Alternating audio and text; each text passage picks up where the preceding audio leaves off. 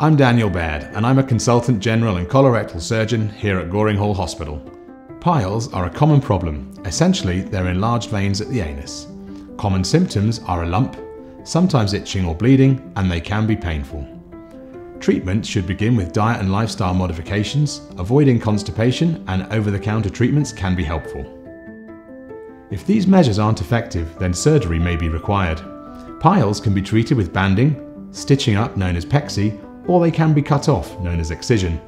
Surgery is done as a day case, meaning you can come in and go home on the same day. Depending on the treatment, patients can expect to return to normal activities anywhere between 12 hours and a week. If you'd like to come and see me for a consultation, then you can book in online or contact Goring Hall Hospital directly.